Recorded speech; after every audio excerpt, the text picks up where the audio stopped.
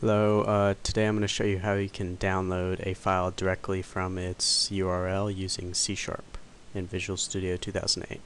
Uh, I just created a very simple little GUI interface with a text box and a download button just to make things um, a lot easier. Just going to double click this download, click the download button to begin writing the code.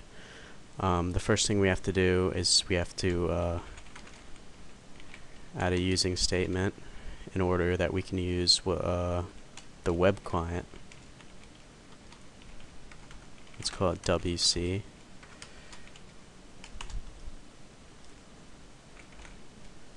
And um, there are two different ways you can download a file. You can either call the download file or the download file async. The uh, differences between uh, the two is that download file will freeze your program until the download's actually finished, uh, while the download file uh, async doesn't actually block the main thread, so uh, you'll be you'll uh, still be able to interact with the various elements of your program. So that's why I'm going to choose this one since it's a much better choice.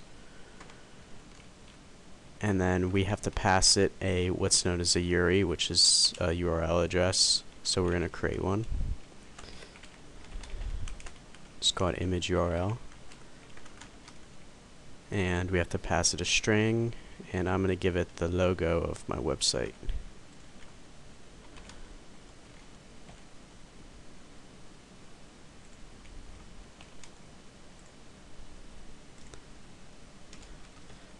So we give it the URI address, which is image URL, and then we give it uh, a file name. So you can do like C users, like your username,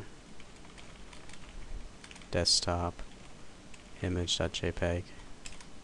This obviously won't work since uh, my name isn't your username, but it will save it, it will create it. And if you just do image.jpg, uh, it'll just save it to wherever uh, the source of your program is. So, uh, and that's really all you need. It's very simple. Um, so in order to add just like a little bit of variation to this, um, I'm going to create an event handler that will uh, display a message once the download is completed. So we call the download, we create a new event, download file completed. Press the tab to have a a nice little uh, auto creation thing that Visual Studio does. We're going to name the method uh, file completed. And then let's go ahead and create that.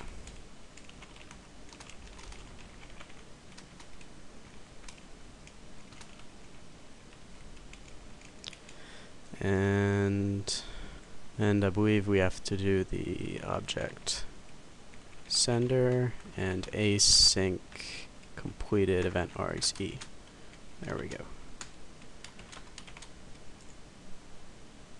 Alright, so that all uh, didn't uh, no errors there, and we're just going to show a message box.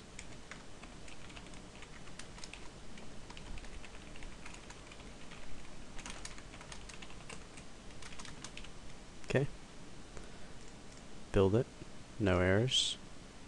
Um, actually, let's go ahead and change this to the text of the text box. I forgot I had a text box there. Alright, um, here's our little form. Let's put in the URL. Download. Download completed. Good job. And if I look at my source, uh, I will find the image just sitting there. Projects, Windows Form, Windows Form, bin, debug, image.jpg. And you see there is the preview of the image. And that is all in this tutorial, how to download a program or how to download a file with C Sharp. Um, if you'd like to have any other tutorials, make sure to leave a comment on my video. Make sure to subscribe to my videos. Also make sure to visit my website and my forums, which is in my description. This is QuackWare signing out.